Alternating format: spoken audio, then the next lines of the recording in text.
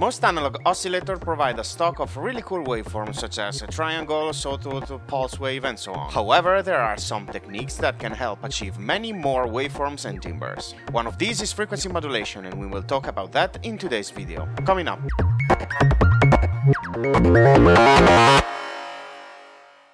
Every time we modulate an oscillator frequency with another oscillating signal, we are doing frequency modulation. If our modulating signal is an LFO, we call this modulation vibrato. We can easily create a vibrato with Falistri and the 321 utility module, so let's see how it works. Let's set the green oscillator to loop and its time scale to fast to obtain an oscillator. Then let's patch its bipolar output to our CGM. It will be our carrier oscillator. For now, we can keep the wave shapes to linear and achieve a classic triangle wave. Then let's apply the same settings to the yellow oscillator. Patch its bipolar output to one of the 321 inputs and its output to the green volt per octave input. It will be our modulator oscillator. Make sure that the inverter and the offset switches are off. If we gently increase the signal level with the 321, we start hearing a vibrato effect, like the familiar modulation wheel on keyboard synthesizers. The timbre, though, still sounds like a triangle wave. Now let's make the modulator faster and faster this point, it no longer sounds like a tremolo. What happened is that the modulating signal became faster than 20 Hz and it became an audio signal. Even if we don't hear it directly in the mixer, we can still hear its effect over the carrier oscillator. We can no longer perceive the modulator's individual oscillation, but we hear it as a sound. In fact, if we patch it to the CGM as well, we can hear a low triangle wave. We must note that there is no physical difference between an LFO and an oscillator, since they are both voltage fluctuations. The only difference is in our ears and in our subjective hearing range. So when we modulate an oscillator's frequency at audio rate, what we hear is the interaction of both oscillators' frequency that result in a new timbre. What FM does is creating sidebands. Remember, we talked about them while discussing amplitude modulation and ring modulation. Both ring modulation and amplitude modulation introduce external elements in the audio signal called sidebands. In amplitude and ring modulation, the sidebands are the sum and the difference of the two oscillators' frequencies.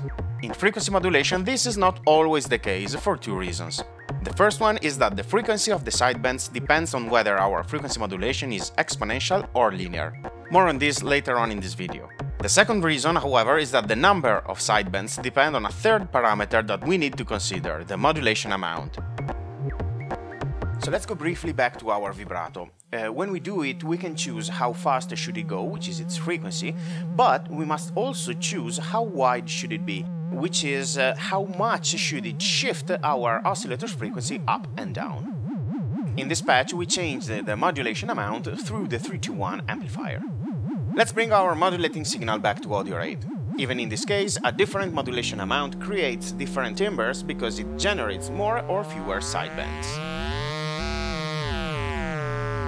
So to sum up, in FM synthesis we have two main parameters through which we can change our sound's timbre, which are the oscillator's frequencies and the modulation amount. At this point, it is worth noting that the new sidebands that we introduce by increasing the modulation amount kinda subtract energy from the original carrier's frequency, but also from the sidebands that we already had. In other words, while increasing the modulation amount, the overall signal's amplitude stays the same. But some of you may have noticed something strange, which is that the pitch of our carrier oscillator changes as we increase the modulation amount.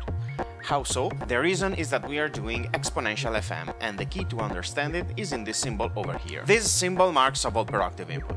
The volt per octave standard increases an oscillator's frequency by 1 octave per volt. In other words, every positive increment of 1 volt doubles the oscillator's frequency. This behavior is exponential and corresponds to the musical interval that we generally use to make music. As a consequence, when we patch a bipolar LFO to a volt per input, it modulates our oscillator by the same musical interval, but the frequency increment and decrement are completely different. For example, let's say that our carrier oscillator has a frequency of 440 Hz. If our modulator has an amplitude of 2 volts peak to peak, which means that it goes up 1 volt and down 1 volt, our 440 Hz will oscillate between 880 and 220. This is kind of a problem because when we do audio rate frequency modulation, we perceive as the main frequency the average frequency between the highest and the lowest peak. So even if our frequencies can be translated in musical terms as three A's on three different octaves, the central frequency is not our previous one, which is 440 Hz. Our ear will thus perceive as the main pitch the average frequency between 880 and 220, which is 550 not 440. So since the volt per octave standard is exponential and since the way we apply such a modulation to our carrier oscillator is exponential, this technique is called exponential frequency modulation. But it's not over. Exponential FM also has another quirk that becomes more evident once we start to play with notes. So let's make a variation of this rudimentary FM patch that allows us to control both oscillators pitches. First, we need to duplicate our volt per octave signal by using the first section of our 333. So we will patch the first one to the yellow volt per octave input and the second one to the green one. But the green oscillator is already receiving a signal. We'll thus use another section of the 333 to combine the volt per octave signal with the FM modulator. The 333 sections are semi-normal, so it is sufficient for us to just patch the yellow bipolar output to the second input of the second section to combine it with the volt per octave signal patched to the first one. Now we can patch the second section's output to the green volt per octave input. Again, if we keep our modulation amount at zero, we can hear the two oscillators play. Once we increase the modulation amount, we can hear the frequency detuning that we talked about. If we keep increasing the modulation amount, we can come up with consonant sounds. But here's what happens once we change our notes. It is dissonant again. How so?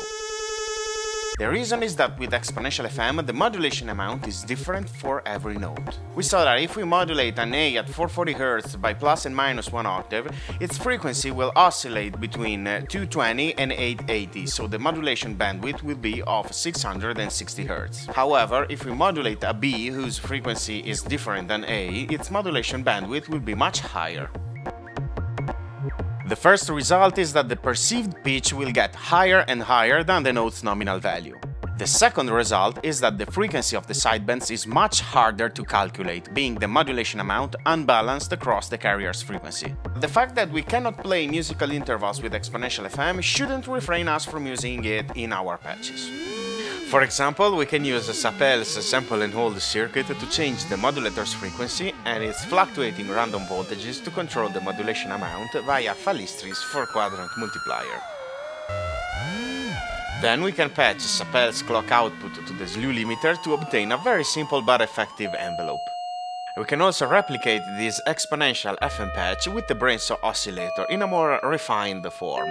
We can use either oscillator as carrier or modulator and activate the exponential frequency modulation through a dedicated circuit with two controls. This defines the amplitude of the modulator, which by default is the other oscillator's sine wave. This other one is the deviation control, which defines the modulation bandwidth. The cool thing about Brenso is that we can voltage control the modulation amount.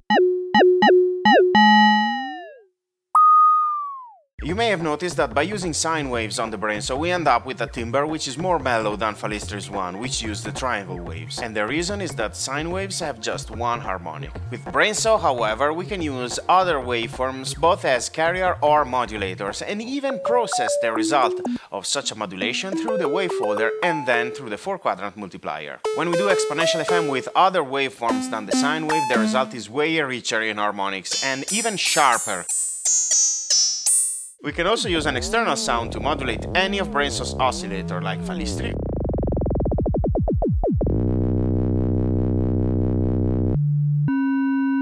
Or even some Sapel's noise.